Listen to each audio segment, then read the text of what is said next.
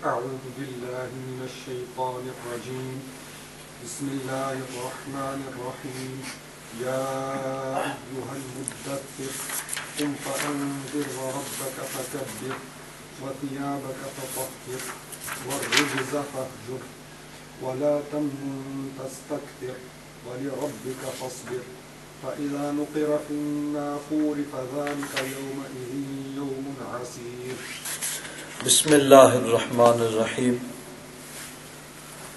سورة المدثر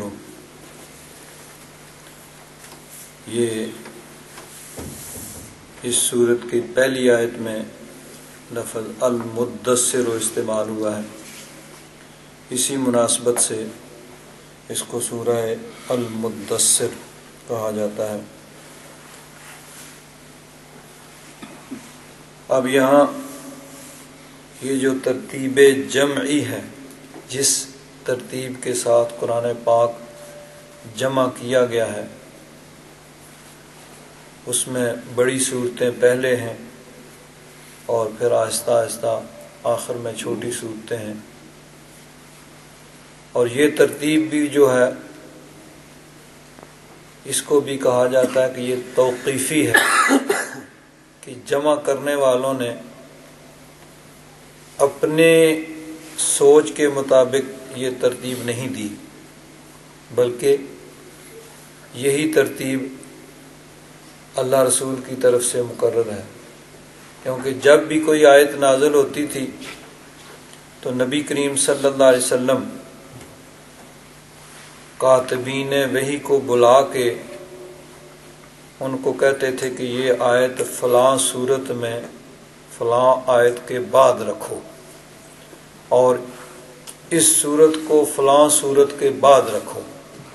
اب نبی کریم صلی اللہ علیہ وسلم کی زمانہ مبارکہ میں، حضور کی ظاہری حیات میں بھی قرآن پاک کی جو تلاوت ہوتی تھی، وہ اسی ترتیب سے ہوتی تھی۔ کہ سورہ فاتحہ، سورہ البقرہ، سورہ عال عمران اور ون ناس پہ جا کے ختم ہوتا تھا۔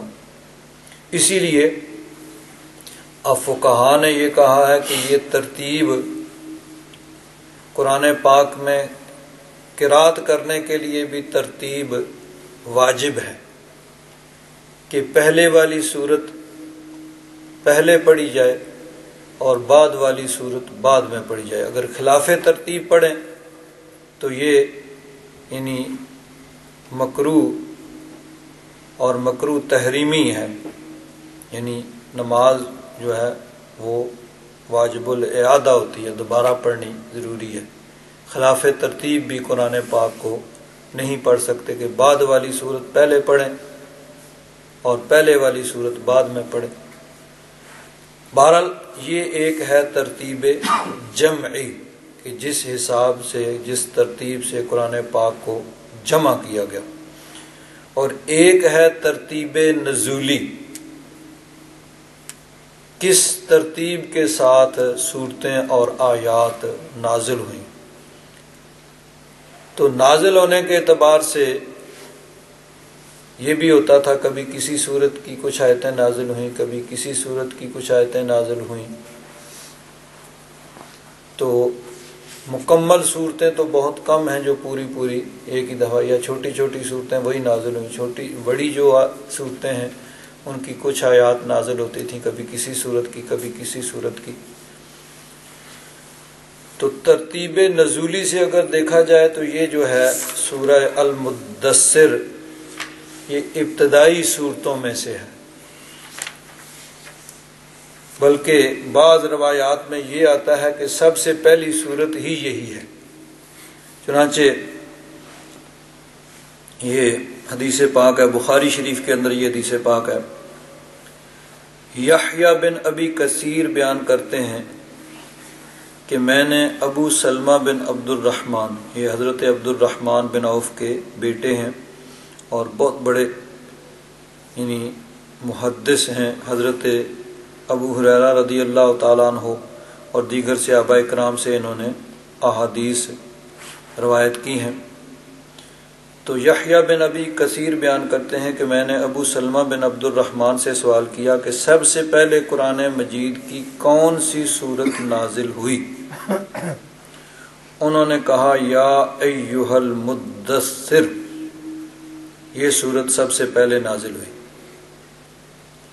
تو یحییٰ بن ابی کثیر کہتے ہیں، میں نے کہا، لوگ کہتے ہیں کہ سب سے پہلے اقرا بسم ربک الذی خلق، وہ نازل ہوئی۔ تو ابو سلمہ، انہوں نے کہا کہ میں نے حضرت جابر بن عبداللہ انصاری رضی اللہ تعالیٰ عنہ سے اس کے متعلق سوال کیا تھا، یہی سوال کیا تھا کہ سب سے پہلے قرآن پاک کی کون سی صورت نازل ہوئی۔ اور جس طرح تم نے مجھ سے کہا ہے، میں نے بھی ان سے اسی طرح کہا تھا کہ لوگ کہتے ہیں کہ سب سے پہلے اقرا بسم اقرا بسم ربی کلزی خلق، وہ نازل ہوئی۔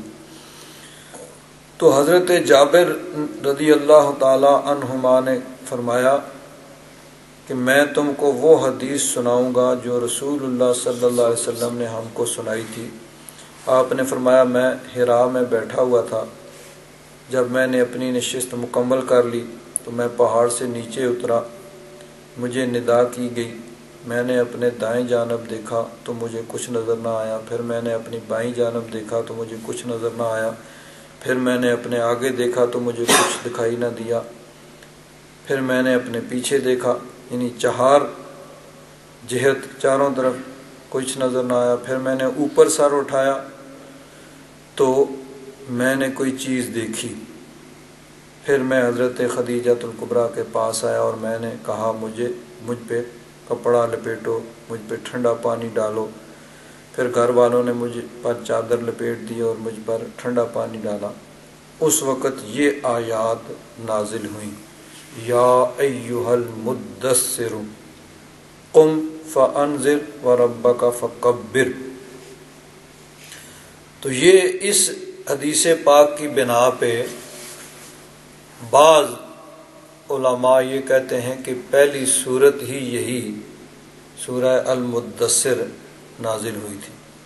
لیکن تحقیق وہی ہے کہ سب سے پہلے جو وہی نازل ہوئی، وہ وہی تھی اقرا بسم ربک الذی خلق۔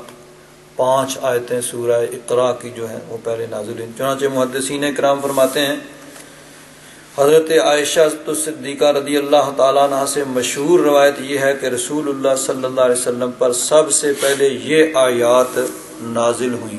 اقرا بسم ربک الذی خلق خلق الانسان من علق۔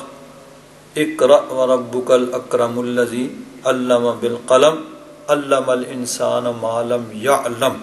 یہ پانچ آیتیں جو ہیں، یہ سب سے پہلے نازل ہوئیں۔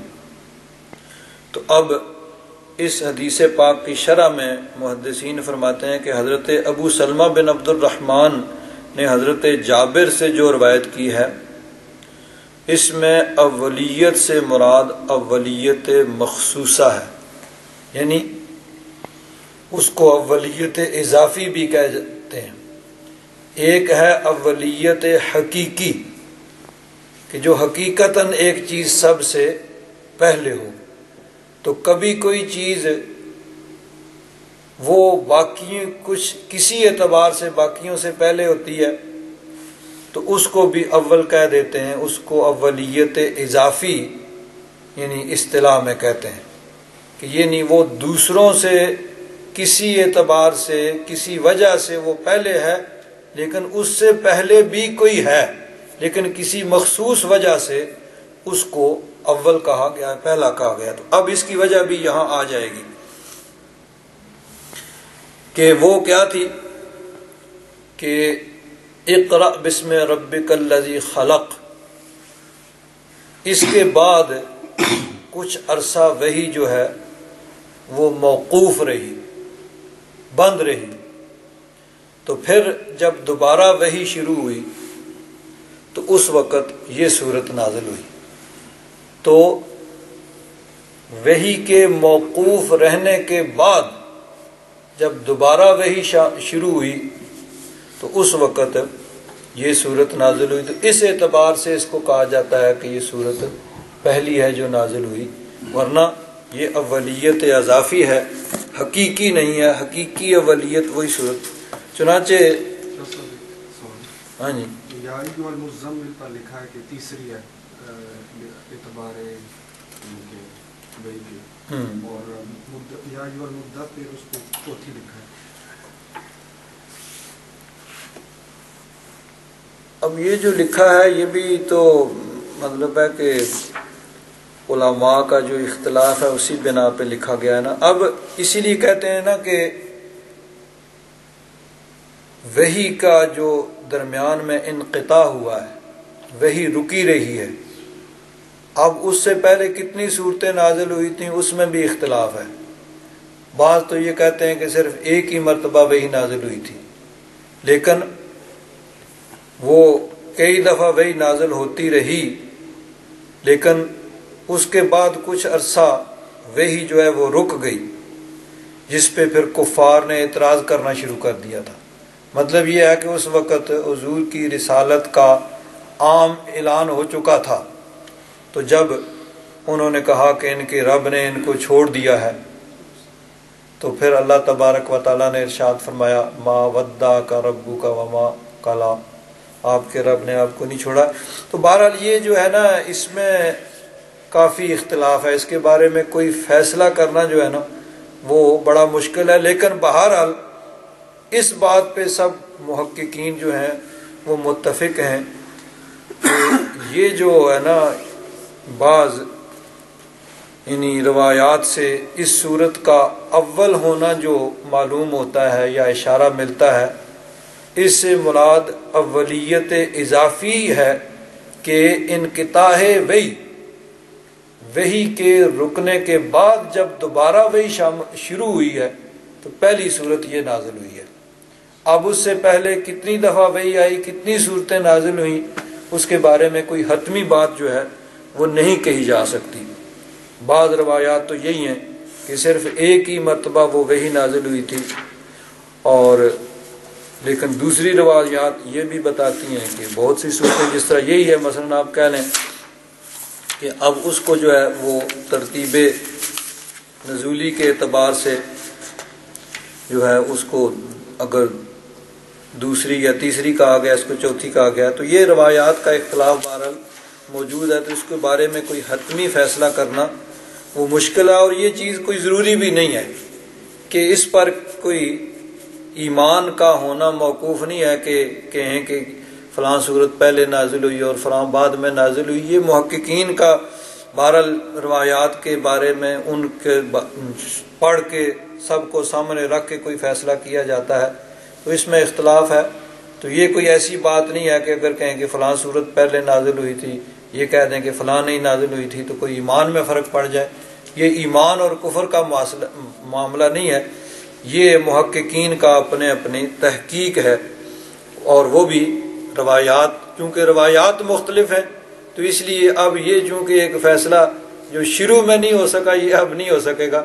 لیکن بہرحال یہ بات جو ہے نا، یہ محققین اس بات پر متفق ہیں کہ جن روایات میں سورہ المدثر کے پہلی صورت ہونا جو ہے وہ معلوم ہوتا ہے یا اشارہ ملتا ہے، اس سے مراد یہی ہے کہ انقطاع وہی وہی کے رکنے کے بعد جب دوبارہ وہی شامل ہوئی تو یہ نازل ہوئی۔ اس اعتبار سے اس کو اولیت اضافی کہا جاتا ہے۔ اولیت حقیقی وہی ہے کہ سب سے پہلے غار حرا میں اقرا بسم ربک الذی خلق، وہ جو ہے نا آیات نازل ہوئی تھی حضرت پیر کرم شاہ صاحب رحمۃ اللہ تعالی علیہ، آپ بھی اس کا ارشاد فرماتے ہیں۔ وہ لباس جو جسم کو مس کرتا ہے، اسے عربی میں شعار کہتے ہیں۔ مثلا یہ شلوار قمیض جو انسان پہنتا ہے، یہ جسم کے ساتھ لگا ہوا ہوتا ہے۔ اس کو شعار کہتے ہیں اور جو اس کے اوپر چادر کمبل وغیرہ پہنا جاتا ہے، اسے دسار کہتے ہیں۔ یعنی ایک تو ہوتا ہے نا، یہ شلوار قمیض یا کوئی بھی لباس جس طرح جسم کے ساتھ جو لگا ہوا ہے، اس کو عربی میں شعار کہتے ہیں۔ اور اس کے اوپر جس طرح کوئی چادر وغیرہ اوڑی جائے یا جس طرح کوٹ پہنا جائے، تو اس کو عربی میں دسار کہتے ہیں۔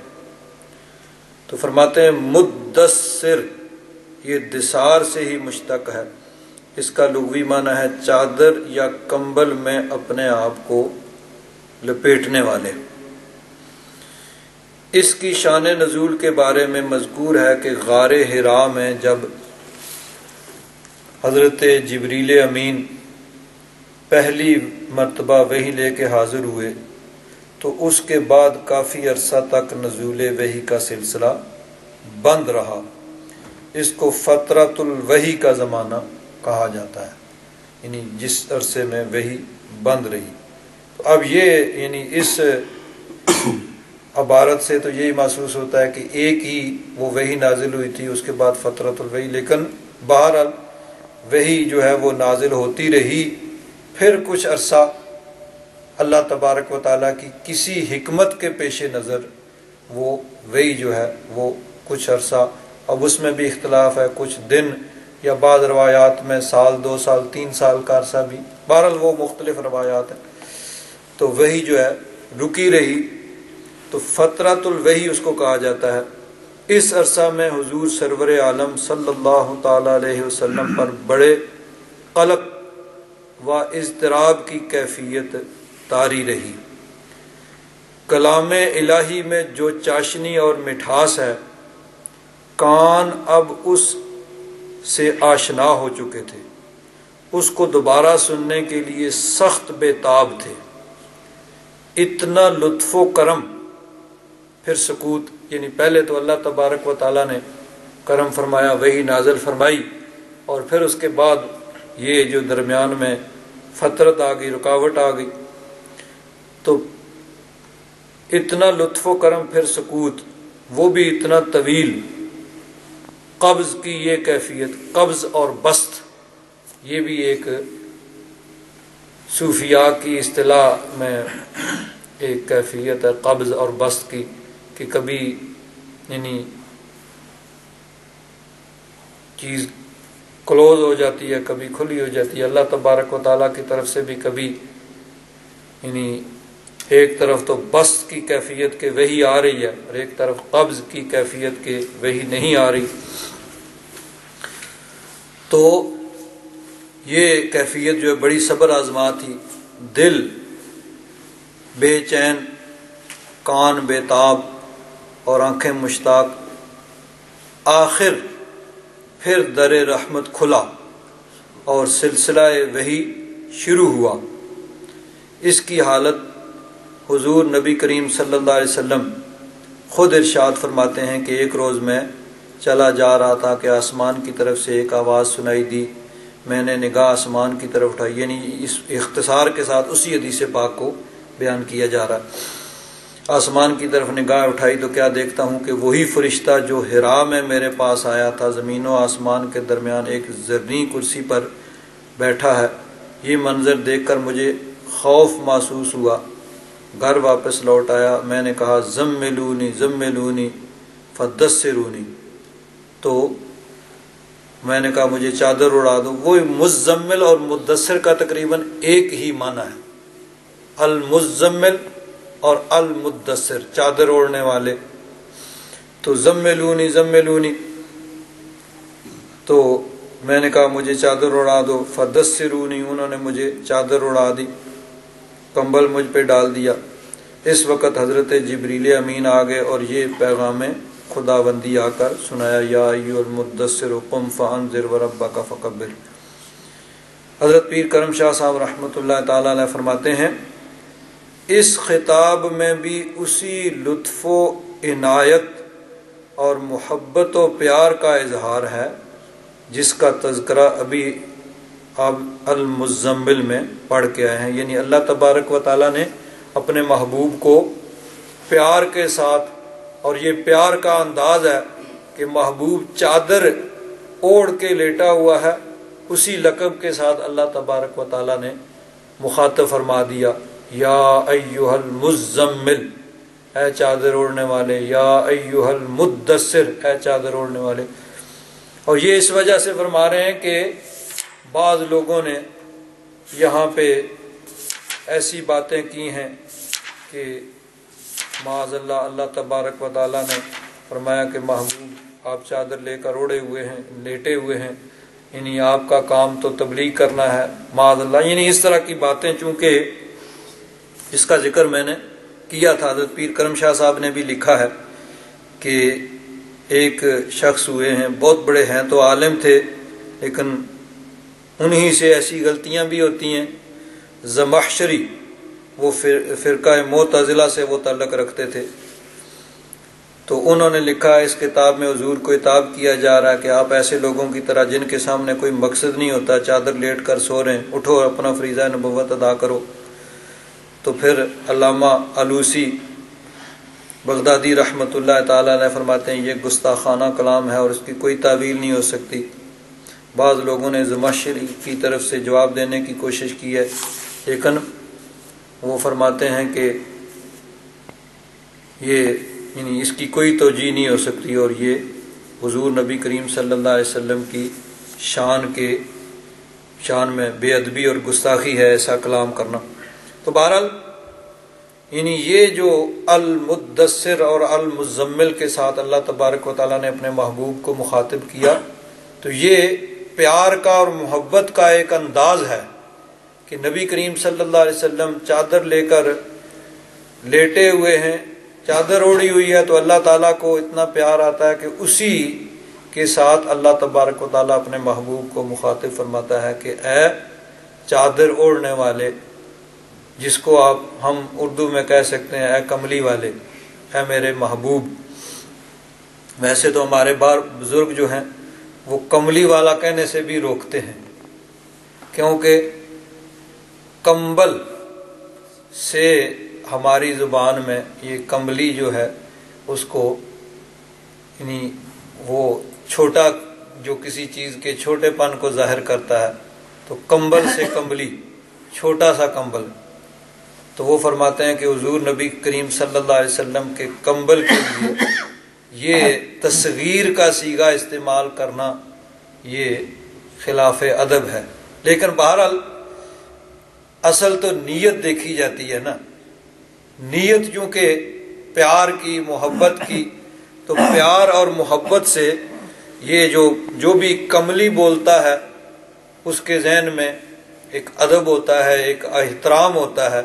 کوئی بے ادبی مقصود نہیں ہوتی کہ جس طرح بعض اوقات یعنی کسی چیز کے ہم تصغیر بولتے ہیں، جس طرح نام کو بگاڑا جاتا ہے کہ مثلا کسی کا نام کبیر ہے تو اس کو کبیرہ کہتے ہیں، تو وہاں مقصد یعنی دل کے اندر اس کا چھوٹا پن یا اس، یہ سمجھا جاتا ہے کہ اس کی کوئی عزت اور وقار نہیں ہے۔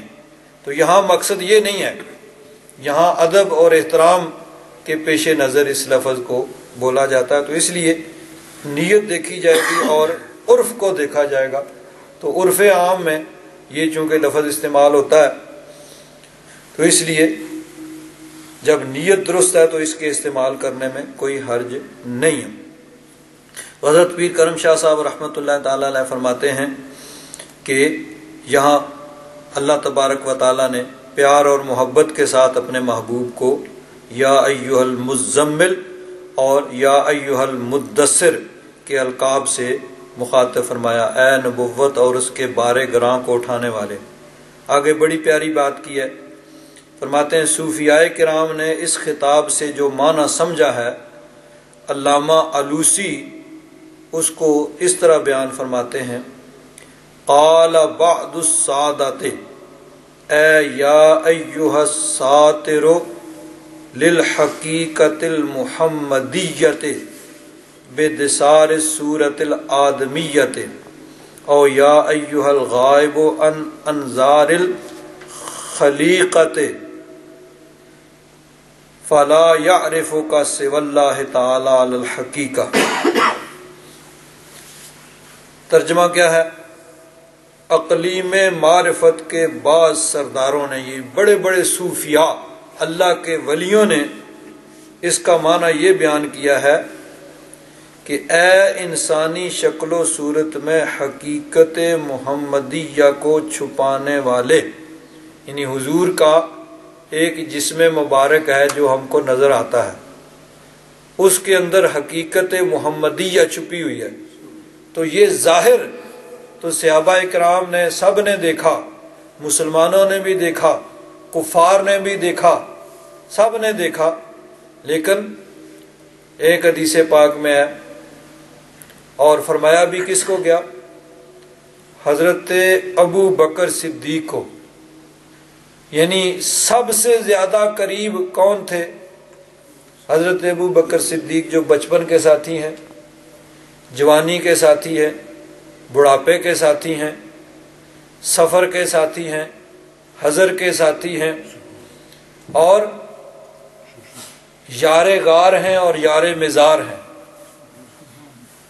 یعنی بچپن، جوانی، بڑھاپا اور سفر، حضر غار، مزار، بلکہ کل بروز قیامت بھی حضور نے فرمایا، حضور مسجد سے نکلے۔ ایک طرف حضرت ابو بکر صدیق ہیں حضرت عمر فاروق ہیں۔ تو فرمایا ہا کزا نباس یوم القیامہ۔ قیامت کے دن بھی ہم ایسے ہی اٹھیں گے۔ ایک طرف ابو بکر صدیق ہوں گے، ایک طرف عمر فاروق ہوں گے۔ تو یہ حضرت ابو بکر صدیق کو ارشاد فرمایا جا رہا ہے، یا ابا بکرن لم یا عرفنی حقیقت غیر و ربی۔ اے ابو بکر، مجھے حقیقت میرے رب کے علاوہ کسی نے پہچانا ہی نہیں۔ تو اب باقی سارے تو بعد میں رہے نا، وہ حضرت ابو بکر صدیق جو بچپن کے ساتھی، جوانی کے ساتھی، بڑھاپے کے ساتھی، سفر کے ساتھی، حضر کے ساتھی، غار کے ساتھی، مزار کے ساتھی، قیامت کے دن بھی حضور کے ساتھ اٹھیں گے۔ ان کو مخاطب کر کے فرمایا جا رہا ہے کہ اے ابو بکر، میری حقیقت کو میرے رب کے علاوہ کسی نے پہچانا ہی نہیں۔ تو اس لیے صوفیاء فرماتے ہیں کہ ایک تو اس کا ظاہری معنی ہے نا کہ حضور چادر لے کر لیٹے ہوئے ہیں۔ اللہ تبارک و تعالیٰ نے پیار سے فرمایا کہ ہے میرے محبوب، چادر اوڑھنے والے اٹھیے۔ اور ایک اس کا صوفیاء نے معنی یہ بیان کیا ہے کہ ایک ہے حضور نبی کریم صلی اللہ علیہ وسلم کی ظاہر جو نظر آ رہا ہے۔ اس کے اندر حقیقت محمدیہ وہ چھپی ہوئی ہے۔ تو معنی یہ ہوگا کہ اے انسانی شکل و صورت میں حقیق حقیقت محمدیہ کو چھپانے یا لوگوں کی نگاہوں سے اپنے آپ کو مستور رکھنے والے، پوشیدہ رکھنے والے، تیری حقیقت کو اللہ تعالیٰ کے بغیر اور کوئی نہیں جان سکتا۔ آگے قصیدہ بردہ شریف کے دو شعر بھی لکھے ہیں۔ وکیف یدر کو فت دنیا فت دنیا حقیقت قوم نیام تسلو عنہ بالحلم۔ فمبلغ العلم فیہ انہ بشر و انہ خیر خلق اللہ کلہ بھی کہ اس دنیا میں حضور کی حقیقت کو کیسے پہچان پہچان سکتے ہیں؟ کون؟ وہ قوم جو سوئی ہوئی سوئی ہوئی ہے، جو محض خیالات سے اپنے دلوں کو بہلا رہی ہے۔ تو جو لوگ یعنی ہم گویا کے سوئے ہوئے ہیں، تو حضور کی حقیقت کو کیسے پہچان سکتے ہیں؟ اور دوسرا شعر ہے کہ علم کی انتہا تو یہ ہے کہ آپ بشر ہیں یعنی اس دنیا میں آپ بشر بن کے تشریف لائے اور اللہ تعالیٰ کی ساری مخلوق سے بہتر ہیں۔ تو حقیقت جو حقی حضور کی حقیقت ہے اس کو تو پھر رب کے علاوہ اور کوئی نہیں جانتا۔ تو یہ صوفیاء نے اس کا ایک یہ معنی بھی بیان کیا۔ آگے اسی کے تعارف میں یہ حدیث پاک بھی لکھی گئی ہے۔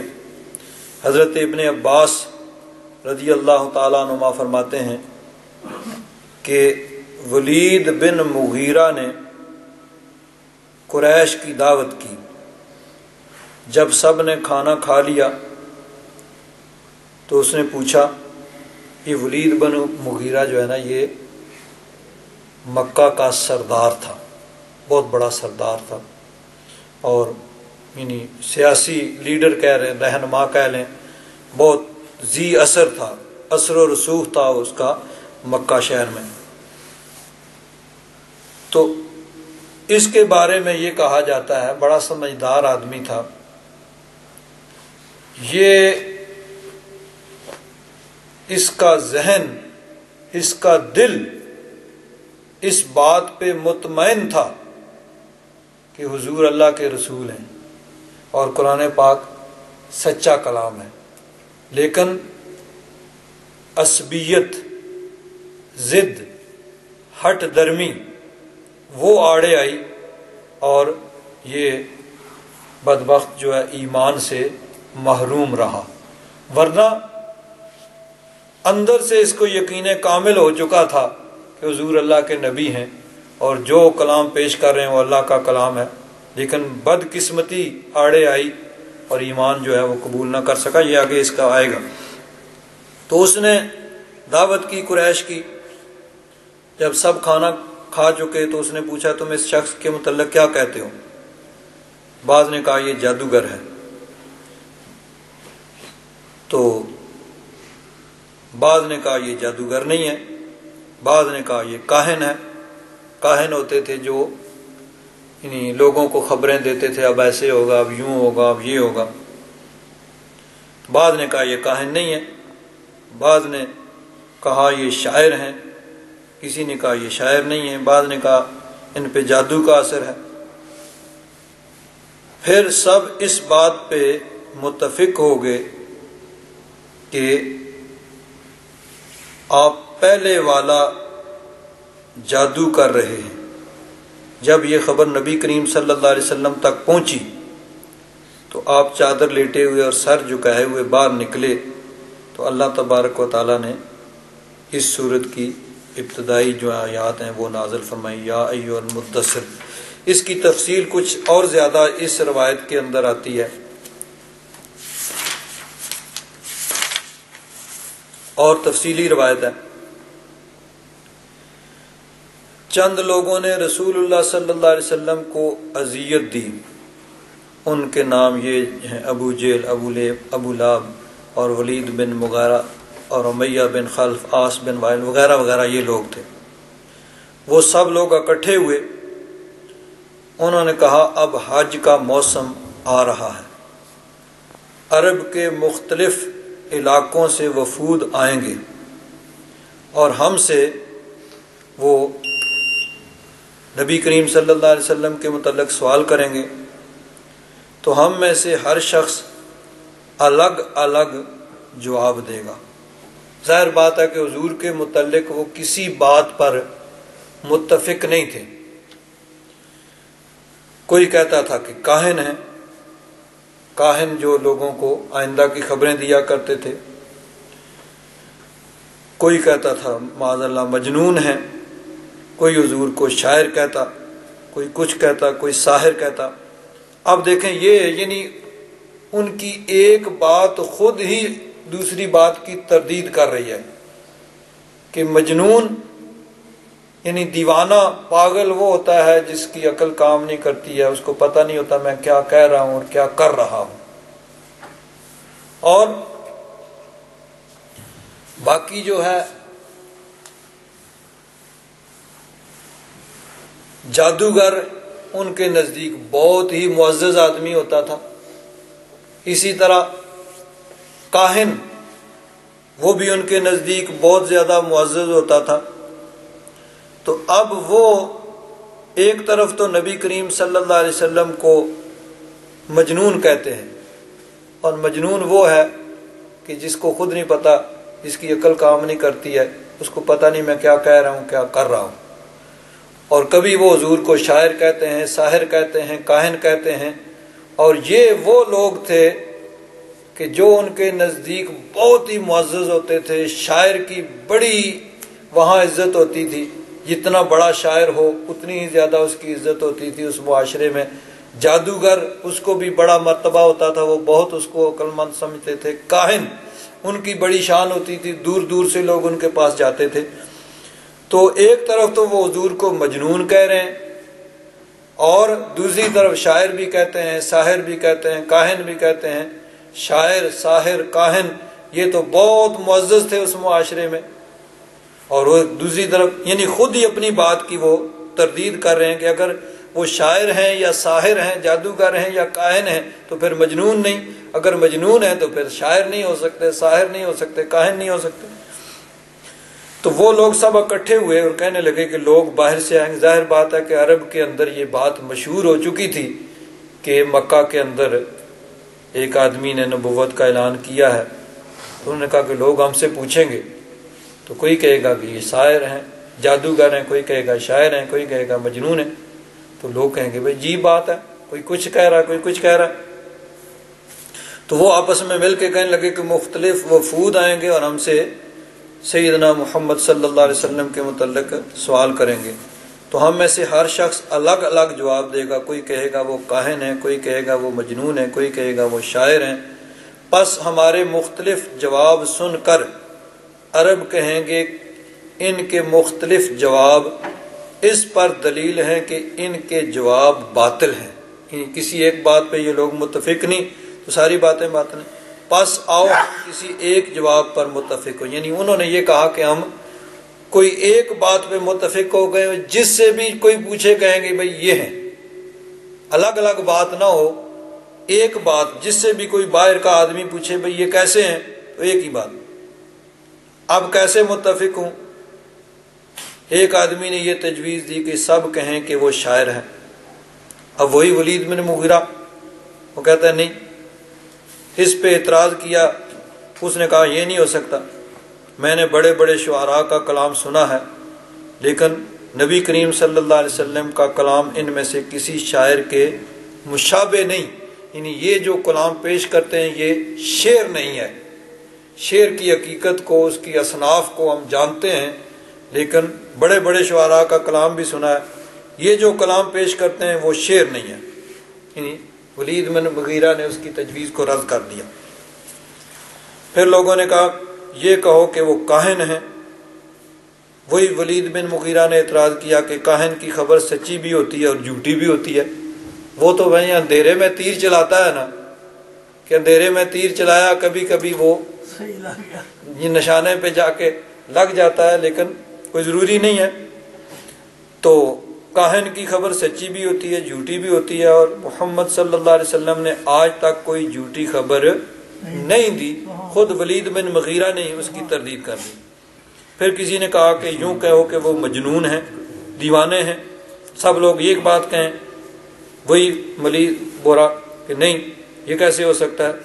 مجنون خلاف عقل اور بے ربط باتیں کرتا ہے۔ اور محمد صلی اللہ علیہ وسلم نے آج تک ایسا کلام نہیں کیا۔ ایسی بات نہیں کی جو بے ربط ہو اور بے معنی ہو۔ پھر وہ ولید بن مغیرہ واپس اپنے گھر چلا گیا۔ اب لوگوں نے کہا کہ ولید بن مغیرہ نے اپنا مذہب اپنا مذہب بدل لیا ہے۔ یعنی یہ جس طرح میں نے کہا نا کہ وہ ذہنی طور پر اور قلبی طور پر اس کو یقین کامل ہو چکا تھا کہ حضور سچے نبی ہیں۔ اور جو کلام پیش کرتے ہیں وہ اللہ کا کلام ہے۔ اب رکاوٹ جو ہے وہی صرف تعصب، ضد، ہٹ درمی اور یہ کہ ان کے پیچھے لگ جائیں گے، ہماری سرداری جاتی رہے گی۔ یہ چیز جو ہے وہ رکاوٹ بنی۔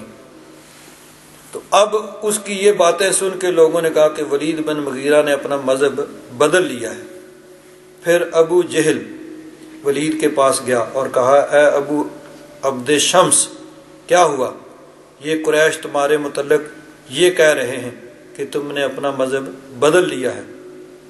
تو الولید نے کہا، مجھے اپنا مذہب بدلنے کی کوئی ضرورت نہیں ہے، لیکن میں محمد صلی اللہ تعالی علیہ وسلم کے متعلق غور و فکر کر رہا ہوں۔ میں نے سوچا ہے کہ وہ ساحر ہیں، جادوگر ہیں، کیونکہ جادوگر وہ ہوتا ہے جو باپ اور بیٹے میں اور بھائی اور بھائی میں اور بیوی اور شوہر میں تفرقہ ڈال دیتا ہے۔ اور محمد صلی اللہ علیہ وسلم بھی ایسا کرتے ہیں۔ یعنی حضور کا کلمہ پڑھ کے گھر کا ایک فرد کلمہ پڑھ لیتا، دوسرے اس کے دشمن بن جاتے۔ تو اب انہوں نے اس کو اس کے ساتھ ملا دیا کہ جادوگر، وہ تو ہوتا ہے، وہ تو اپنا بزنس چلانے کے لیے، جس طرح آج کل کے دور میں یہ اس طرح کے لوگ ہیں جو حساب کتاب کرتے ہیں اور کہتے ہیں، بھئی جادو ہو گیا جی تعویذ ہو گئے ہیں جی بڑا کسی نے وار کر دیا ہے جی یہ ہو گیا، وہ ہو گیا۔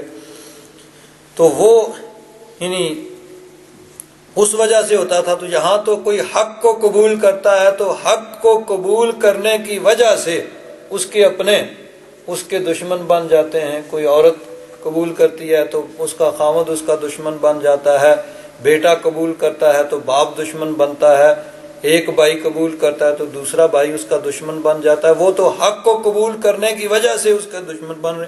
لیکن وہ چونکہ دشمن سے جو چاہے ملا دیں تو اس نے یہ کہا۔ پھر وہ سب اس پر متفق ہو گئے کہ آپ کو جادوگر کا یعنی ساحر کا لقب دیا جائے۔ پھر وہ سب باہر نکلے اور مکہ کے مجمع میں چلا کر کہا کہ بے شک محمد صلی اللہ علیہ وسلم جادوگر ہے پھر لوگوں میں یہ شور مچ گیا کہ محمد صلی اللہ علیہ وسلم جادوگر ہے یعنی سب لوگ اس بات پہ متفق ہو گئے، جو بھی پوچھے گا اس کو یہی کہیں گے۔ جب رسول اللہ صلی اللہ علیہ وسلم نے یہ سنا تو آپ کو بہت رنج ہوا۔ آپ غم زدہ ہو کر گھر آئے اور چادر اوڑھ کر لیٹ گئے۔ تب اللہ تبارک و تعالی نے یہ وہی نازل فرمائی۔ یا ایوہ المدثر، قم فانذر۔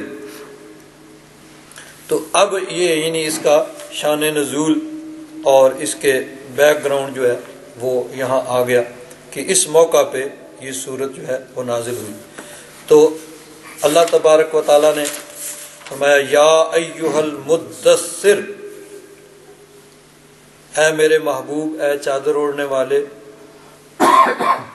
قم، اٹھیے، فانذر، اور ڈرائیے و رب کا فکبر، اور اپنے رب کی بڑائی بیان کیجیے کبر، اس کی یعنی جس طرح اللہ اکبر ہم کہتے ہیں، تو اپنے رب کی بڑائی بیان کیجیے و سیابہ کا فتح اور اپنے کپڑوں کو پاک رکھیے۔ حضرت پیر کرم شاہ صاحب رحمۃ اللہ تعالی علیہ، ان ابتدائی جو یہ آیات ہیں ان کی تفسیر کے اندر فرماتے ہیں۔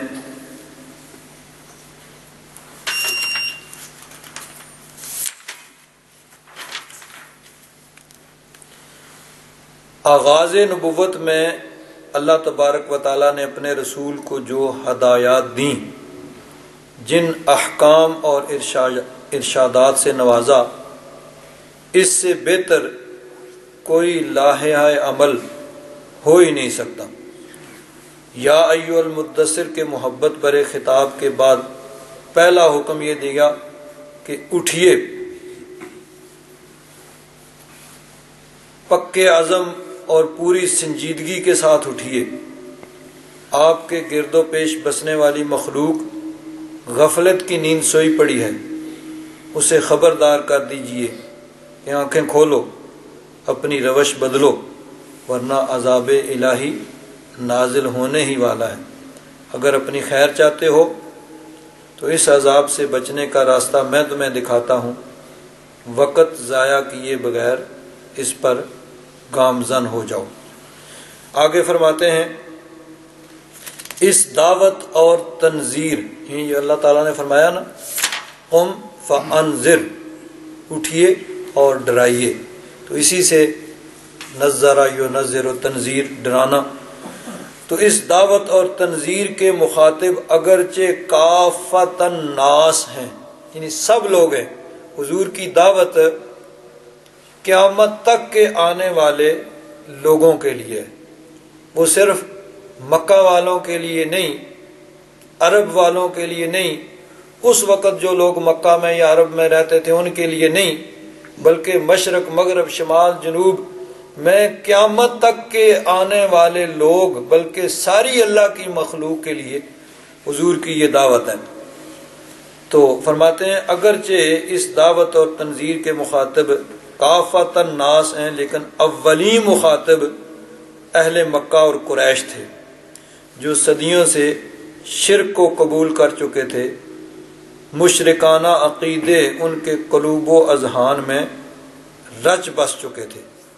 مزید برآں انہیں اپنی برتری کا ایک ایسا انوکھا احساس تھا، وہ کسی کو خاطر میں ہی نہ لاتے تھے۔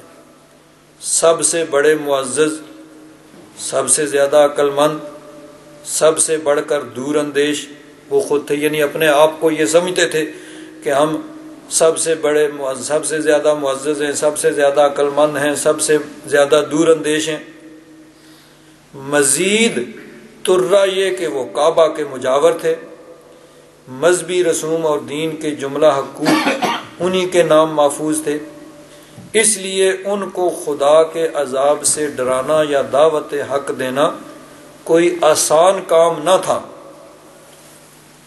یعنی ایسے لوگ جو اپنے آپ کو سب سے زیادہ عقل مند سمجھدار دور اندیش سمجھتے ہوں اور ساتھ ساتھ وہ اللہ کے گھر کے متولی اور مجاور اب ان کو کوئی سمجھانا چاہے، اس سے زیادہ مشکل کام اور کون سا ہو سکتا ہے؟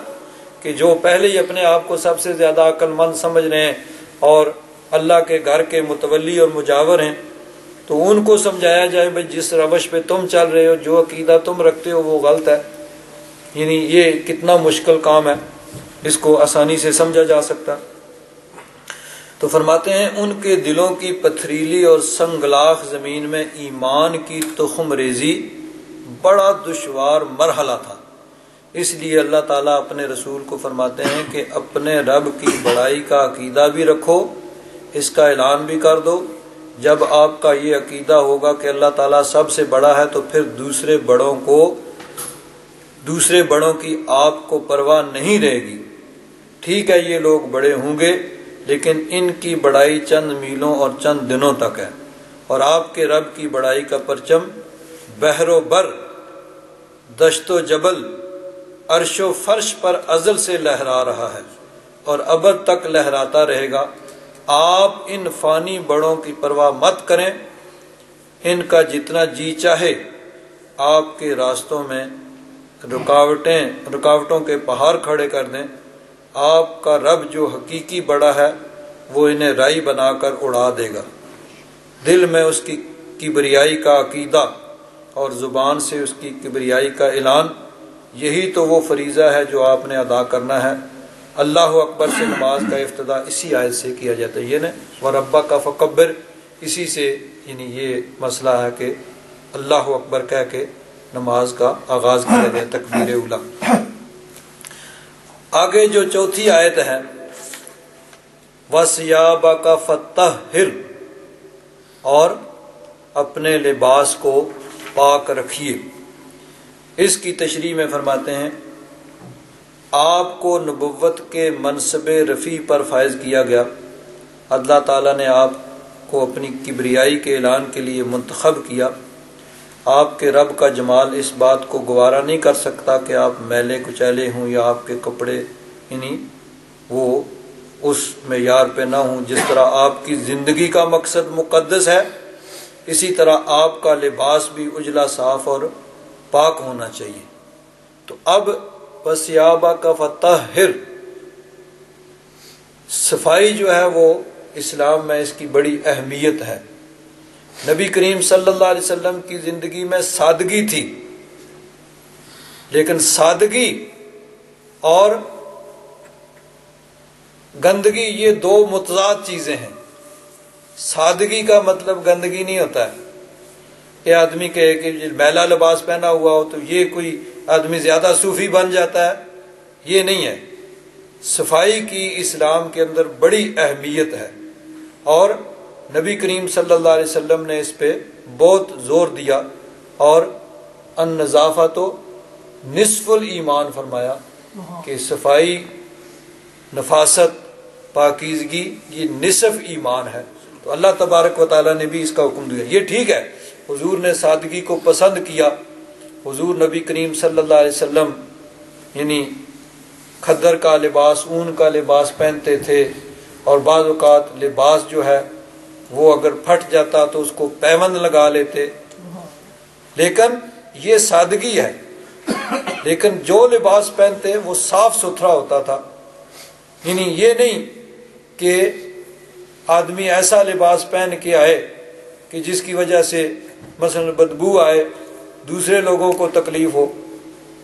اسی لیے ابتدائی دور میں سب لوگوں کو حکم دیا گیا بھائی جمعہ کے دن غسل کیے بغیر کوئی نہ آئے۔ کیونکہ اس زمانے میں اتنے کپڑوں کی کثرت نہیں تھی، لوگ کام کاج، محنت، مزدوری کرتے تھے۔ تو اگر اسی طرح لوگ آئیں تو دوسروں کو تکلیف پہنچنے کا یعنی بدبو کی وجہ سے خطرہ تھا۔ تو پہلے یہ حکم تھا کہ جمعہ کے دن کا غسل فرض تھا۔ بعد میں پھر اس کی فرضیت ختم ہوئی اور استحباب جو ہے اب بھی باقی ہے۔ تو یہ پاکیزگی اور صفائی اس کی بڑی اہمیت ہے اور سادگی الگ چیز ہے۔ اور گندگی الگ چیز ہے۔ حضرت پیر کرم شاہ صاحب رحمۃ اللہ تعالی علیہ ایک جگہ فرماتے ہیں کہ اس بات کی سمجھ نہیں آتی کہ بعض صوفی وہ سمجھتے ہیں کہ گندا لباس پہننے سے ہم زیادہ صوفی بن جائیں گے۔ نہیں، صاف ستھرا لباس ہونا چاہیے۔ اسی لیے دیکھیے جمعے کو خاص طور پر عطر لگا کر آنے کا حکم ہے کہ خوشبو کو حضور نے پسند فرمایا اور نفاست اور پاکیزگی کو پسند فرمایا۔ سادگی جو ہے وہ الگ چیز ہے۔ اور یہ جو ہے یعنی جس طرح کے بھی کپڑے اس زمانے میں چونکہ وہ سادہ دور تھا، لیکن بے شک پیوند لگے ہوئے، جوڑ لگے ہوئے کپڑے میں لیکن صاف ستھرے وہ ہوا کرتے تھے۔ تو اللہ تبارک و تعالیٰ نے صفائی کا حکم دیا۔ اور اس کا ایک معنی صوفیہ نے بیان کیا ہے۔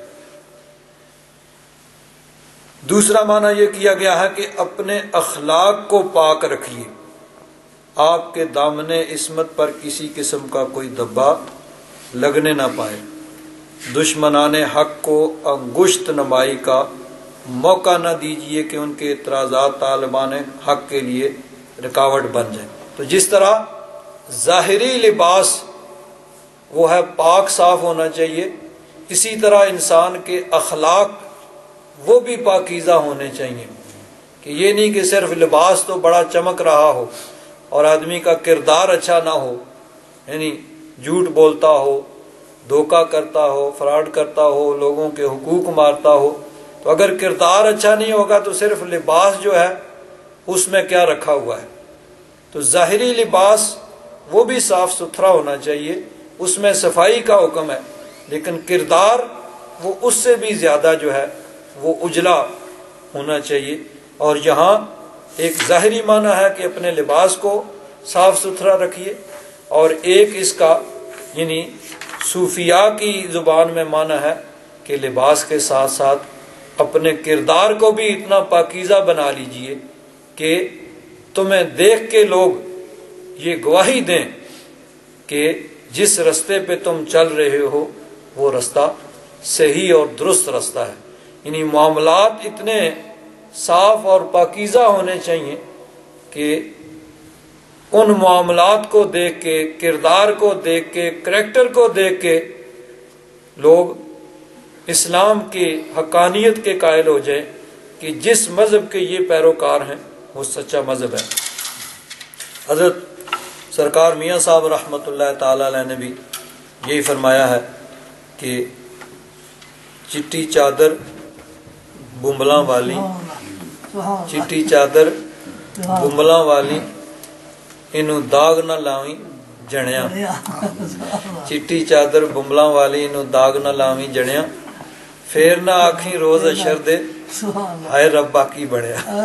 یعنی اپنے کردار کو صحیح کر کے رکھو ورنہ کل قیامت کے دن پھر ہاتھ ملو گے لیکن اس ہاتھ ملنے کا کوئی فائدہ نہیں۔ اور دوسری جگہ بڑی پیاری بات کی حضرت میاں صاحب نے وہ کہتے ہیں کہ سفید لباس جو ہوتا ہے نا، اس پہ بہت داغ پڑ جاتا ہے۔